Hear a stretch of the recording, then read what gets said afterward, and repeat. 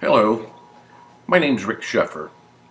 This presentation is about the history and evolution of our understanding and harassing of one of nature's natural forces, electricity, and how the science of electricity evolved from a freak phenomenon of nature through man's effort to try and understand it and finally control it to use it for useful work.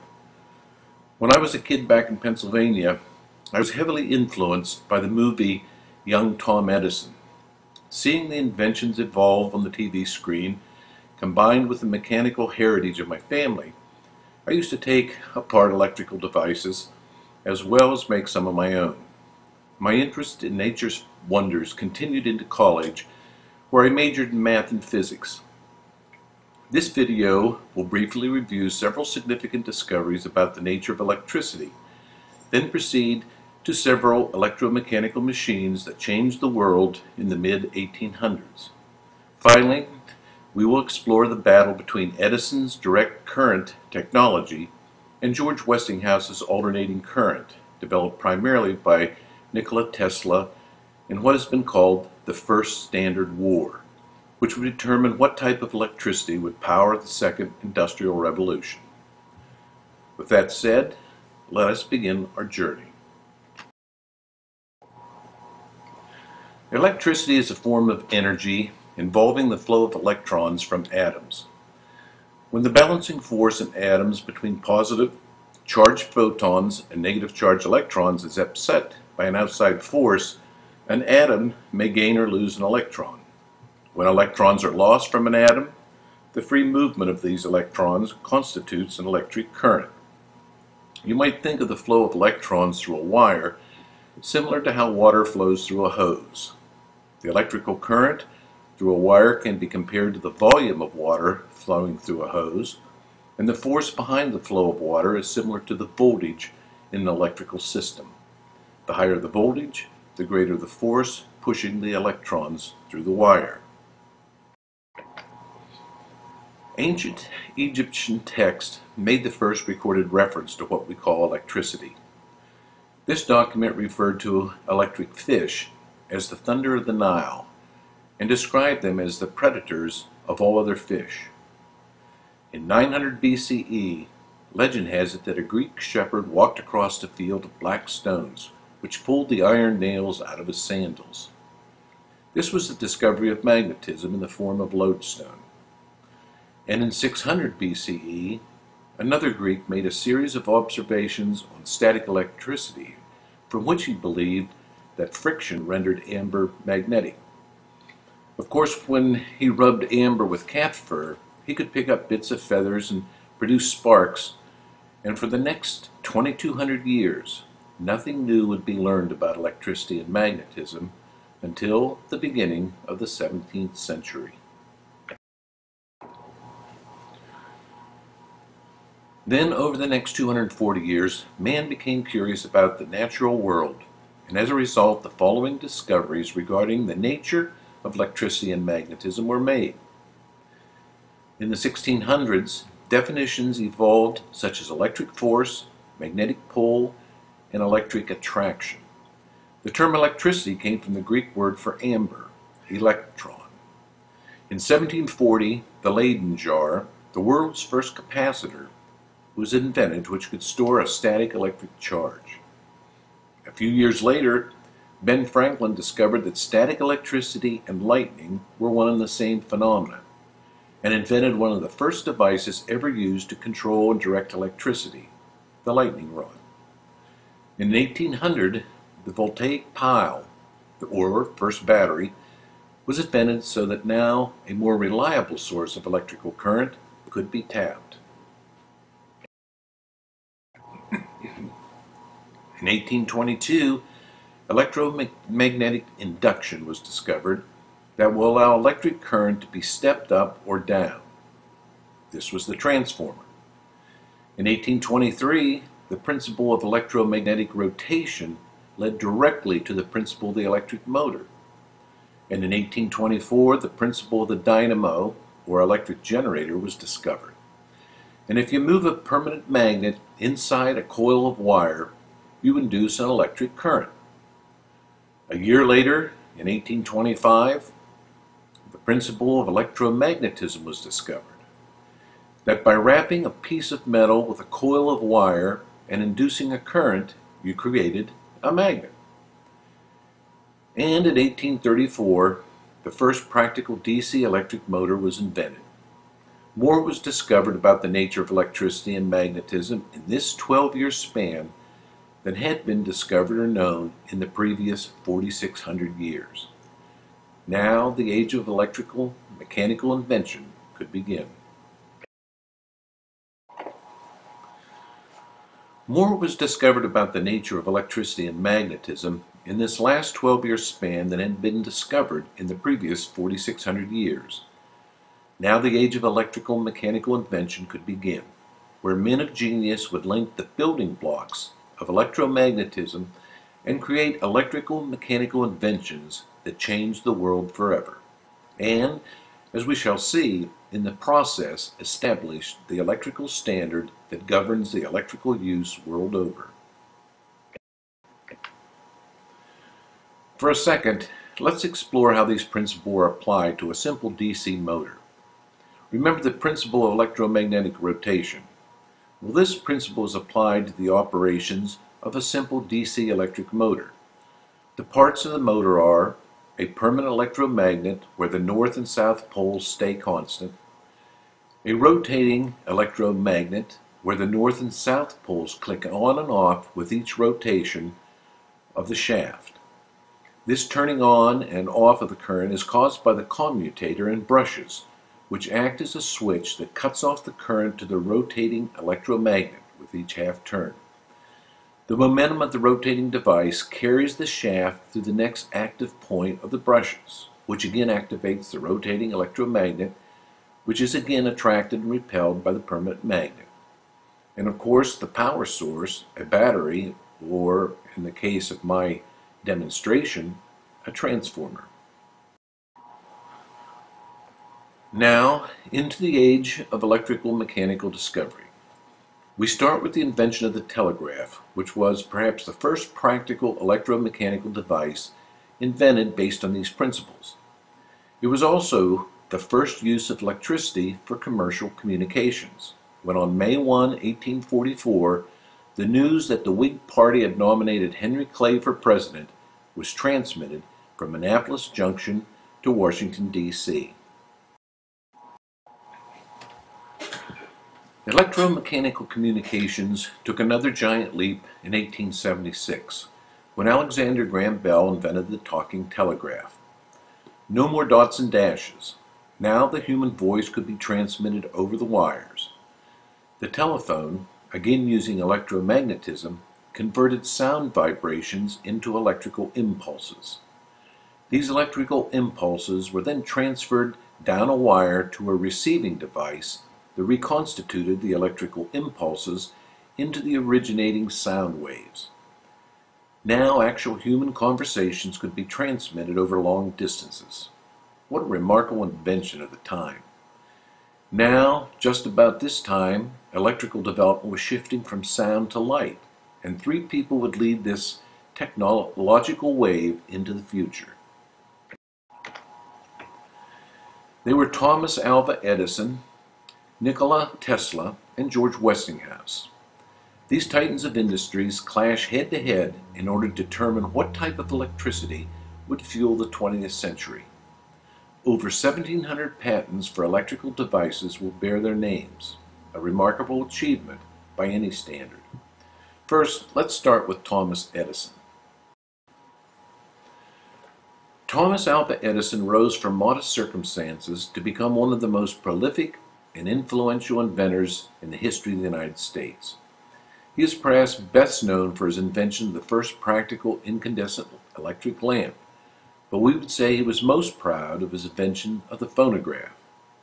But Edison also invented the motion picture camera, and these three inventions formed the basis of the sound recording industry, the electric power industry, and the motion picture industry. Not bad, wouldn't you say? Most people do not associate Edison with creating the world's first motion picture studio, but he did. But first, he had to invent the movie camera, which he did, and he had to build the first movie studio at his West Orange plant in New Jersey, which he did in 1892. He nicknamed the studio the Black Maria because it resembled a police paddy wagon by that name. The movie set used natural sunlight, so in order to optimize available light, the set would be rotated by hand and thus following the sun's path across the sky. In 1903, Edison released E.S. Porter's The Great Train Robbery, which became one of Edison's most popular motion pictures. Thomas Edison also made significant improvements to the telegraph and telephone. His patent for the carbon powder microphone replaced Bell's device and was still being used on telephones until recent times. Edison also devised new methods to process iron ore using electromagnets, and he developed a manufacturing process for making Portland cement and developed a process for manufacturing complete cement houses. Some of these cement homes are still in use today. Edison also invented the mimeograph reproduction process that most of us remember by the smell of our test papers in school. He sold his patent to the A.B. Dick Company of Chicago. Edison also invented a new type of storage battery designed to power electric vehicles. In 1876, Edison opened his laboratory in Menlo Park, New Jersey, a small village on the Pennsylvania Railroad approximately 25 miles west of New York City. He vowed to produce a minor invention every 10 days and a big thing every six months. Edison secured 400 patents at Menlo Park between 1876 and 1882 and employed more than 200 experimenters. The complex consisted of the 100 foot long laboratory building, a machine shop, a carpenter shop, a glass blowing shed, as well as a gasoline plant that powered the complex. Before his inventing days were through, Edison would be granted a staggering 1,093 patents in the United States alone, which is the record for the highest number of patents ever granted to an individual. Most of the inventions Edison worked on involved an intricate linkage of electricity and mechanics referred to as electric mechanical devices, where electrical current activated clock-like machinery of gears, cogwheels, and levers.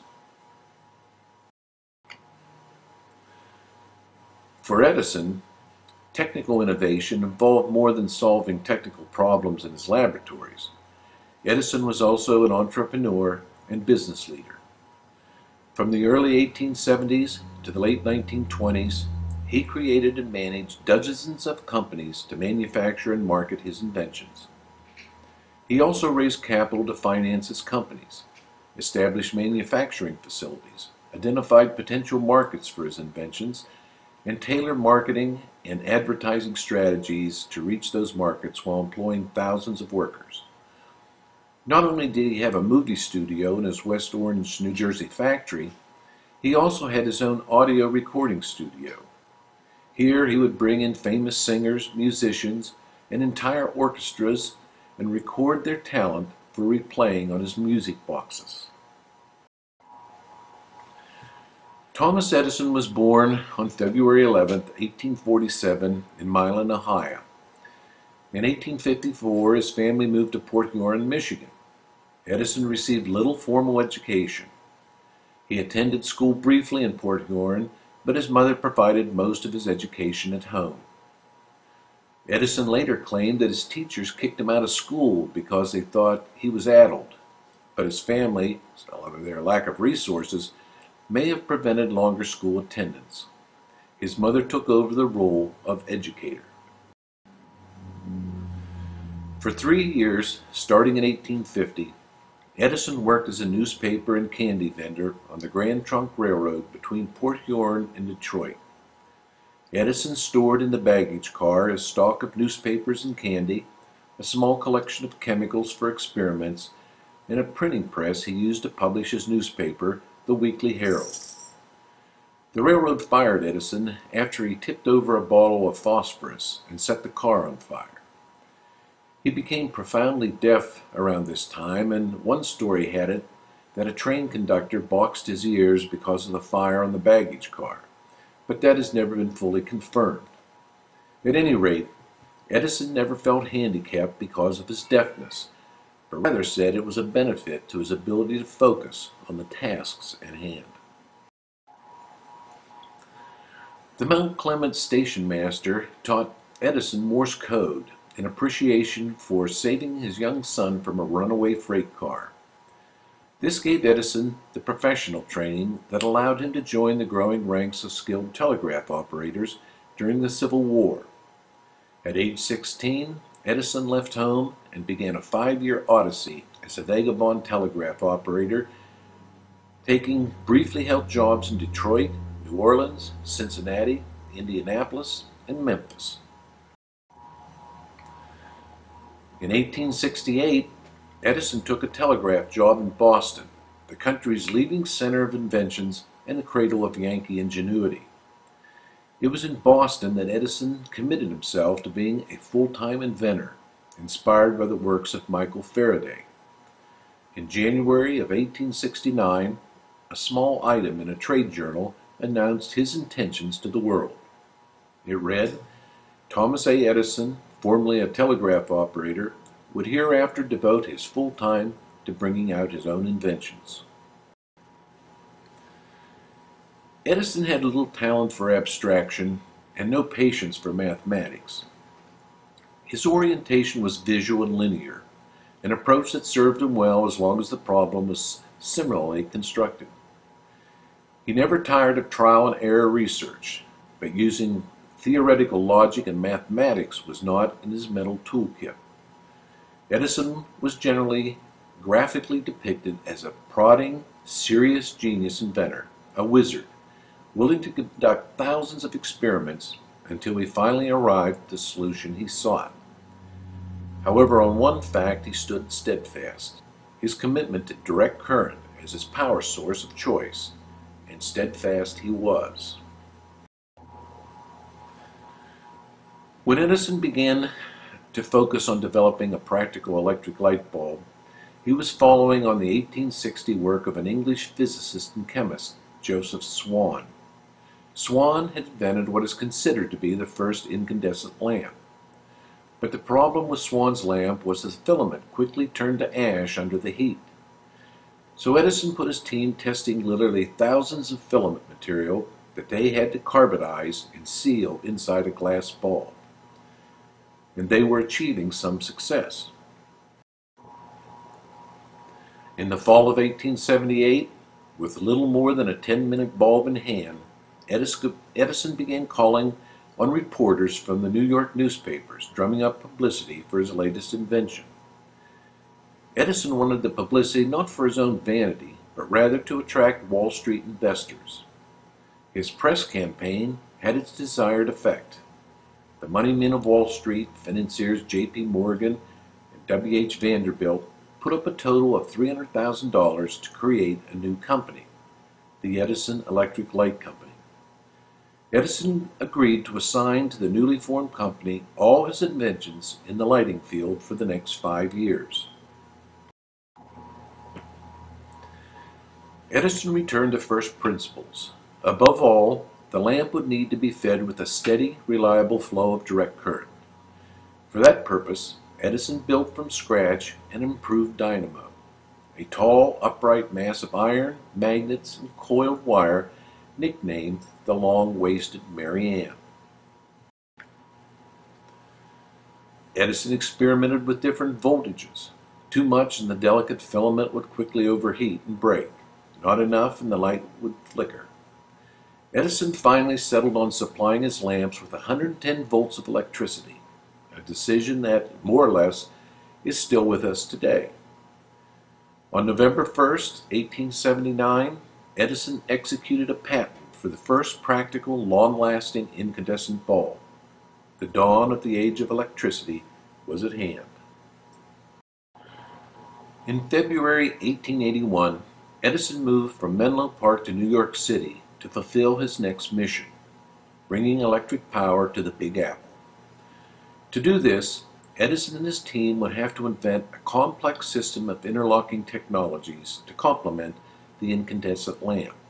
Switches, meters, sockets, fixtures, regulators, underground conductors, junction boxes, and most importantly, a central station to generate DC power and a distribution network to deliver it.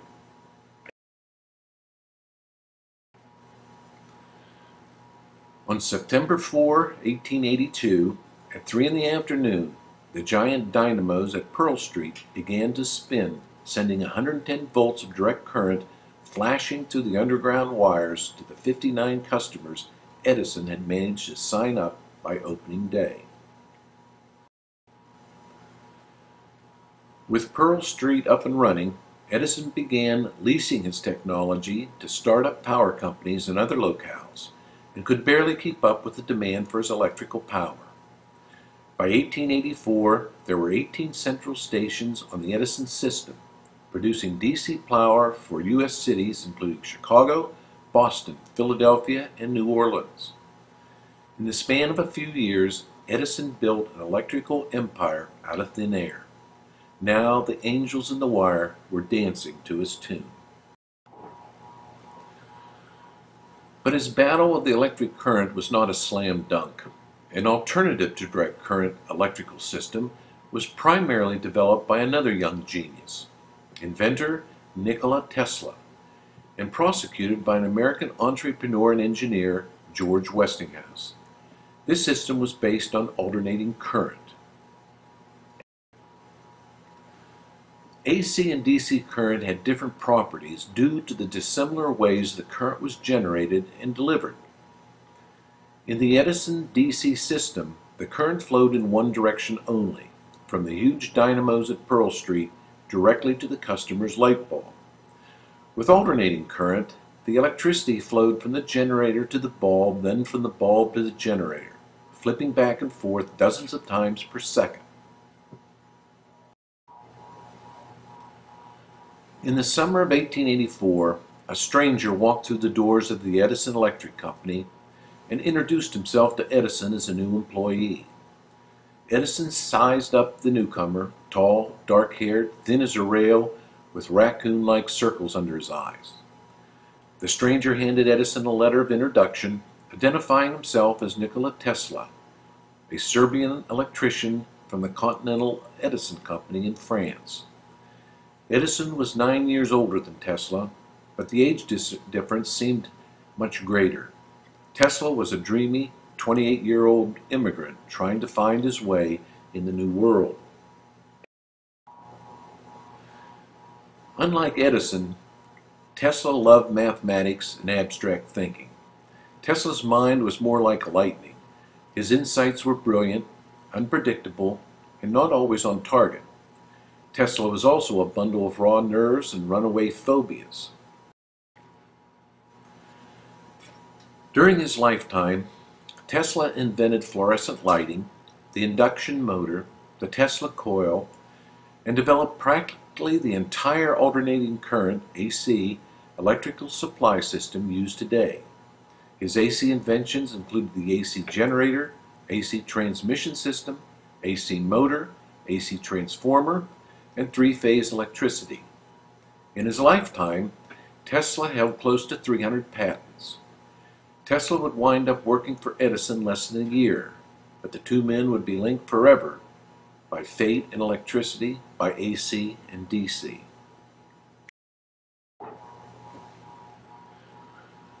Nikola Tesla was born in 1856 in Croatia. He was the son of a Serbian Orthodox clergyman. As a young boy, unexplained and often unwanted images and strong flashes of light would suddenly appear to Tesla, so lifelike they blocked his vision of real objects. His mind was unruly, mercurial, and utterly original. Tesla also suffered from what today would be diagnosed as obsessive compulsive disorder. He had a lifelong germ phobia. He was repulsed by the sight of objects with smooth surfaces and was obsessed with the number three. At the time, His symptoms were considered by some to be evidence of partial insanity. Tesla's favorite subject in school was math, and he was so adept at mental arithmetic that some teachers suspected him of cheating when he calculated complex mathematical problems without picking up a pencil. Languages also came easily. Tesla added German, Greek, Latin, French, and English to his native language. At the Polytechnic Institute of Austria, Tesla was exposed to a small DC motor that the professor used to demonstrate various effects of direct current to his students. One day the motor malfunctioned. The copper wire brushes that made and broke contact with the rotating mechanical commutator began to throw off sparks. The commutator and brushes are an essential element of a DC motor. They form a switching mechanism that reverses the current twice during each rotation of the motor. Tesla thought the whole commutator setup was inefficient. You never see a design like that in nature, he thought. Tesla applied his formidable powers of abstraction to the task. Motor designs danced in his head, and in 1880 Tesla moved to Prague landed a job as chief electrician of the city's new telephone company.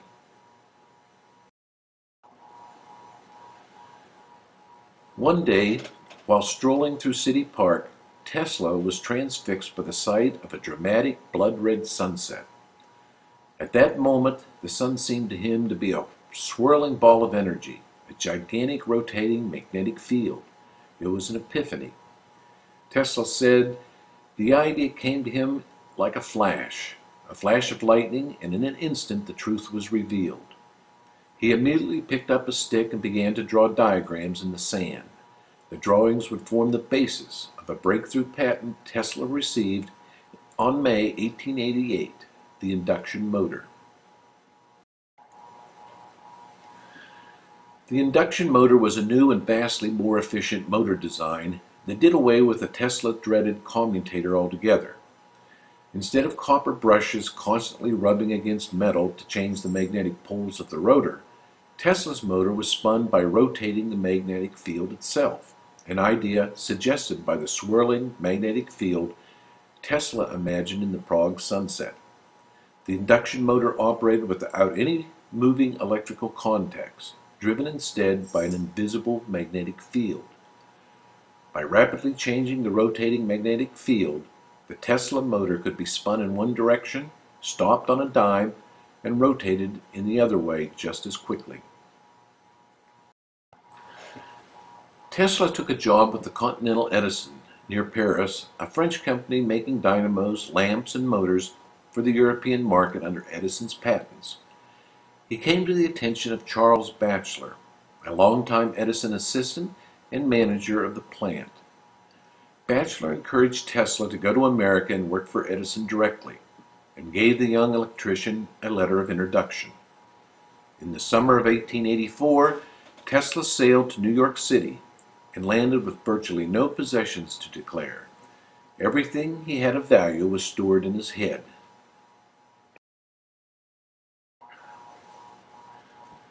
Tesla went to Edison at the inventor's headquarters on Fifth Avenue. One account has Tesla producing Batchelor's letter of introduction to Edison, which supposedly read, I know two great men, and you are one of them. The other is this young man. For nearly a year, Tesla's regular workday stretched from 10.30 one morning until 5 o'clock the next. Tesla claimed Edison had offered him $50,000 bonus, equal to about 1.2 million today, if he redesigned Edison's inefficient motor and generators, making an improvement in both service and economy. In 1885, when Tesla inquired about the payment for his work, Edison replied, Tesla, you don't understand our American humor. In Tesla's mind, Edison had broken his word.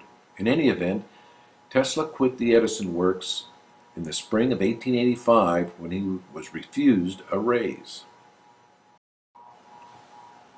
In November and December of 1887, Tesla filed for seven U.S. patents in the field of polyphase AC motors and power transmission. These comprised a complete system of generators, transformers, transmission lines, motors, and lighting. These patents would turn out to be the most valuable patents since the telephone, patents that George Westinghouse became very interested in owning.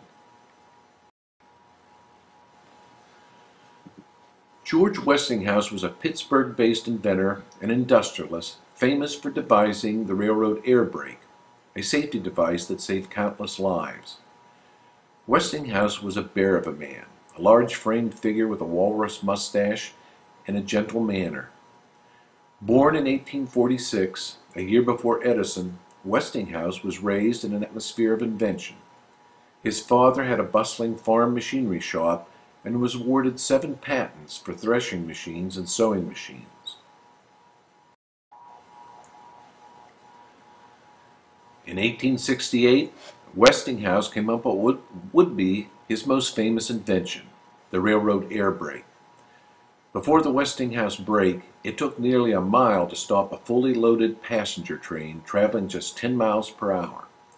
With the Westinghouse brake, a train traveling 30 miles per hour could be halted in just 500 feet. Westinghouse eventually became a world-class inventor in his own right, credited with nearly 400 patents. But Westinghouse's outward nature also made him a natural deal maker.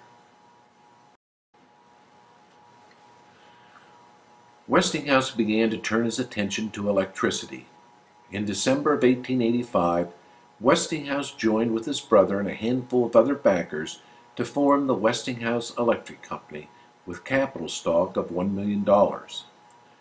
The main assets of the company were 27 patents relating to mostly to direct current electricity that Westinghouse had bought up. With Edison's near monopoly of the DC market, Westinghouse turned his sights to the new technology emerging in Europe, alternating current. One of DC's biggest shortcomings was that it could not be transmitted much more than a mile from the central station without significantly losing power.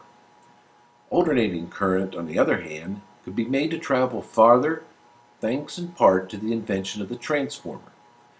With the transformer, alternating current could be easily stepped up to a higher voltage, which could travel through thinner, cheaper wire then stepped down for use in the homes and offices.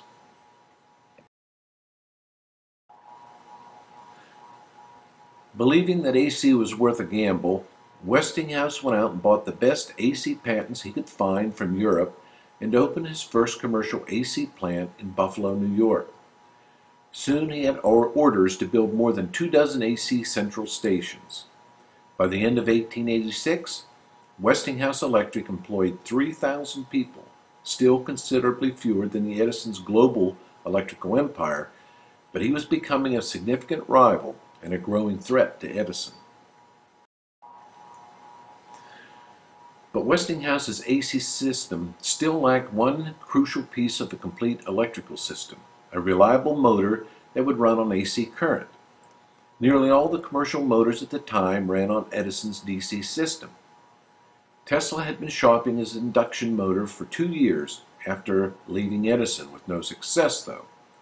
However, on May 1, 1888, he was awarded a series of patents, among them one for the electromagnet motor and one for electrical transmission of power. The latter patent detailed how alternating current could be used to drive the motor that would become known as the Tesla polyphase system. The induction motor was simplicity itself, rotating without any moving electrical contacts. It made DC motors look clunky by comparison.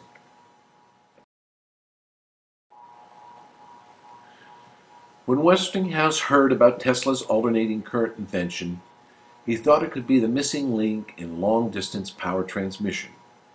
He came to Tesla's lab and made an offer, purchasing the patents for $60,000 which included 5000 in cash and 150 shares of stock in the Westinghouse Corporation. He also agreed to pay royalties of $2.50 per horsepower of electrical capacity sold. Once the deal was signed, Tesla moved to Pittsburgh and worked beside Westinghouse for nearly a year, adapting the Tesla motor to the Westinghouse system. Now, with the breakthrough provided by Tesla's patents, a full-scale industrial war erupted. At stake, in effect, was the future of industrial development, not just in the United States, but the world.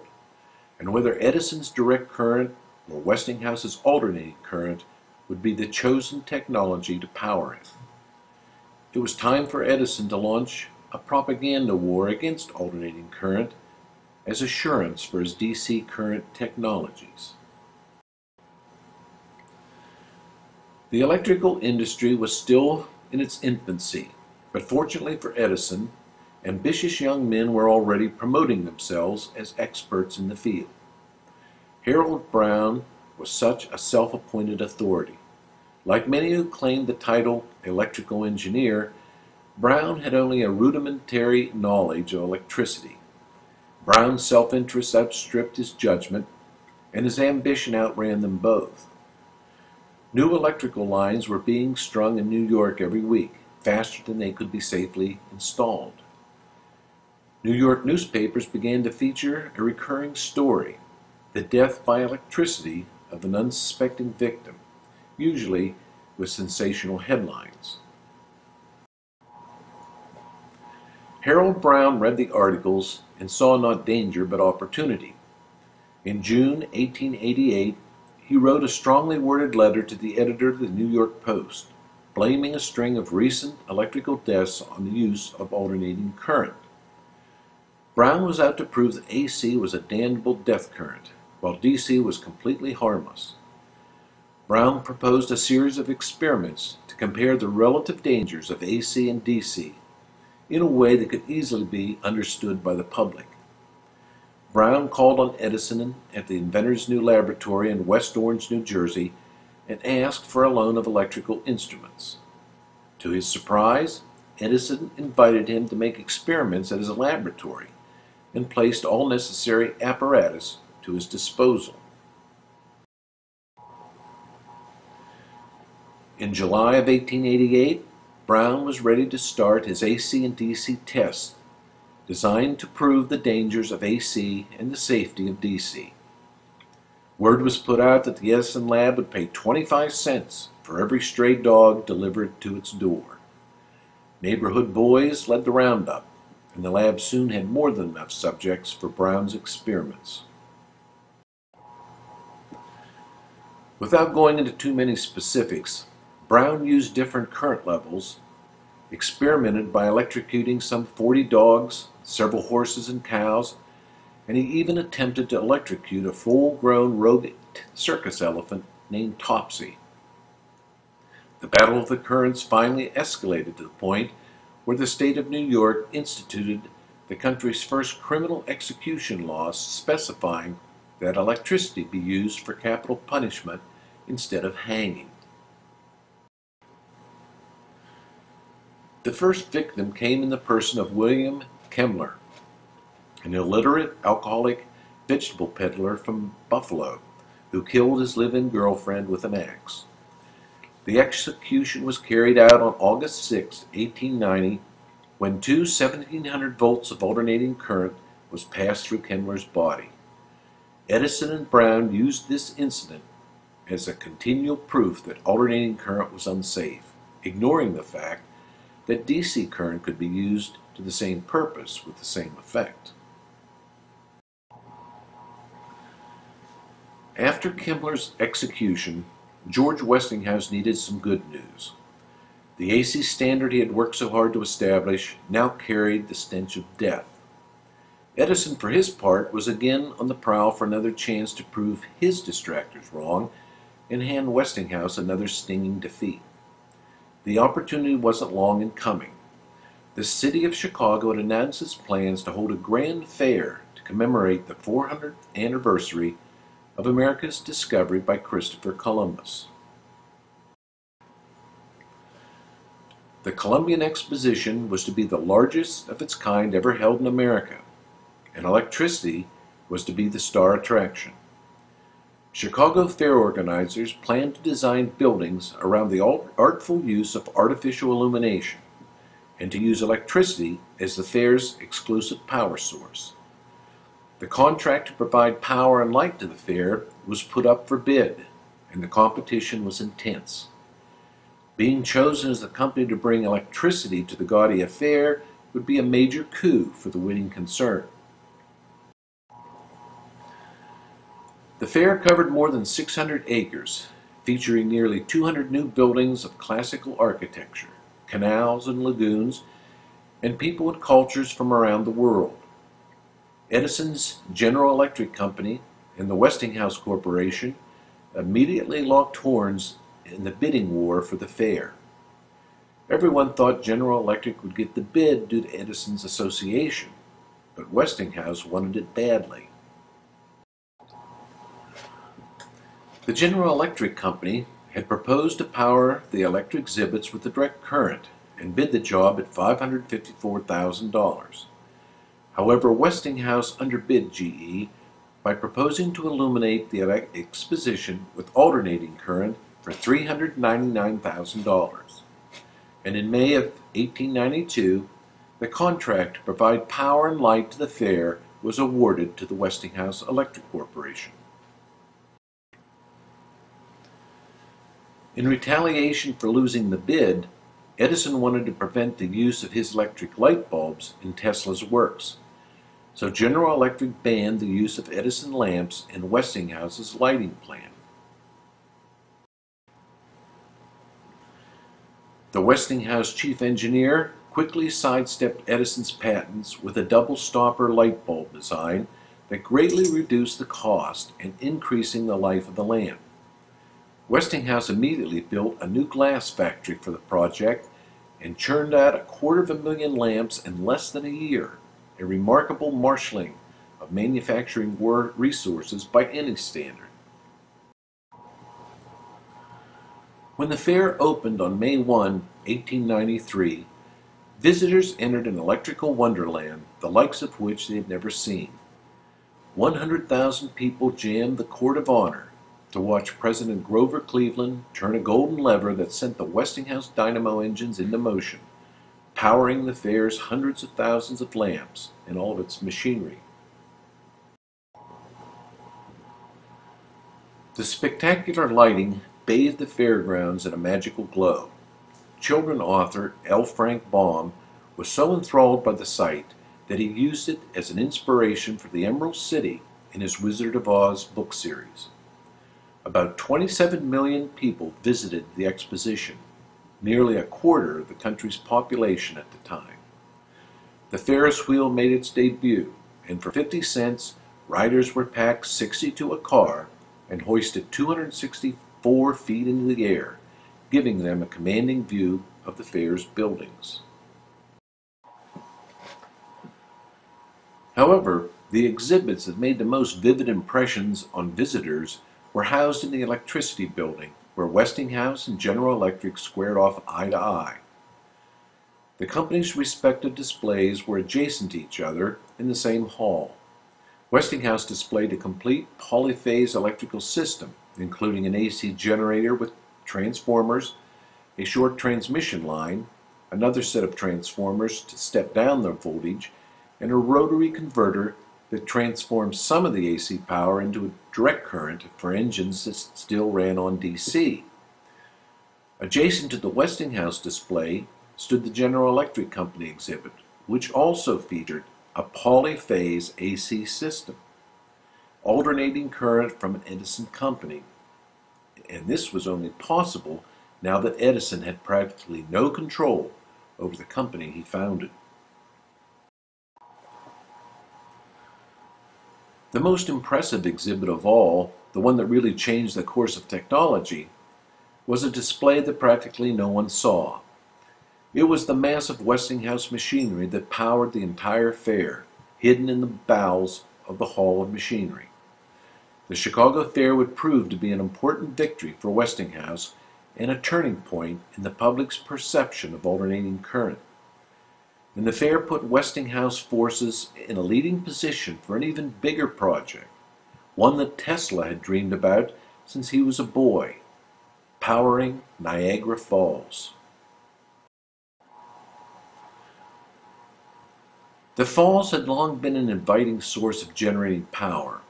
About one fifth of the U.S. population lived within 400 miles of Niagara, and Buffalo, a city of 250,000, was only 20 miles away. The flow of water over the falls was steady and reliable, making it ideal for spinning a turbine smoothly to produce a continuous flow of electricity. Designing a power plant that the falls could transmit electricity many miles away posed enormous technical challenges and local officials at first turned to the country's most famous electrical expert, Thomas Edison. In 1889, Edison submitted a plan for building a DC power station and distribution system at the Falls. Westinghouse was unwilling to reveal the company's trade secrets for AC transmission with no guarantee of a deal. However, Westinghouse employees urged the company to submit a proposal, which they finally did.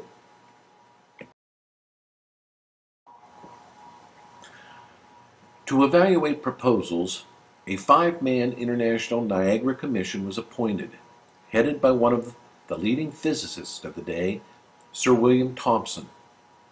Thomson was a direct current man through and through, and considered AC an unproven and unnecessary alternative.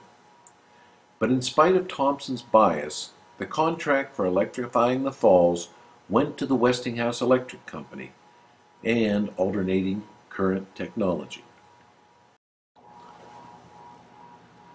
It was a triumph not just for Westinghouse Company, but for alternating current as a technical standard. Westinghouse would end up providing the AC generators, switchgear, and auxiliary equipment for the power plant at Niagara.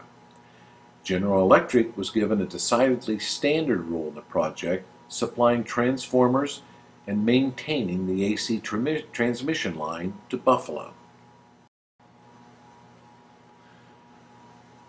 The first two Westinghouse generators roared into service in August of 1895, sending alternating current crackling down the line to Buffalo and beyond.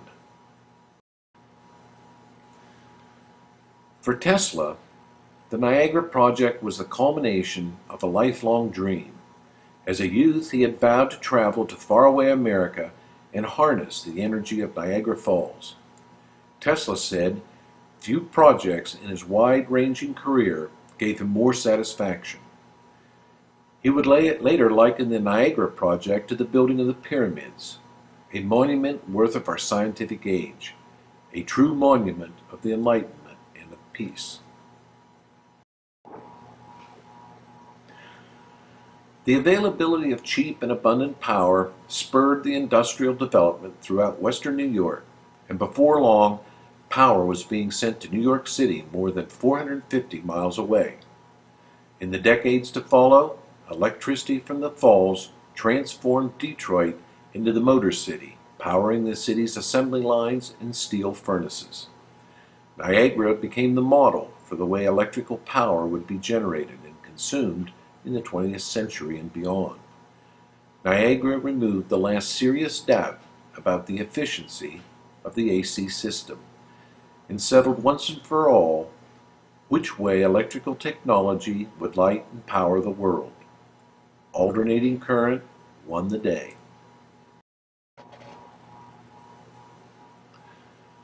Thank you very much for your kind attention to my presentation today.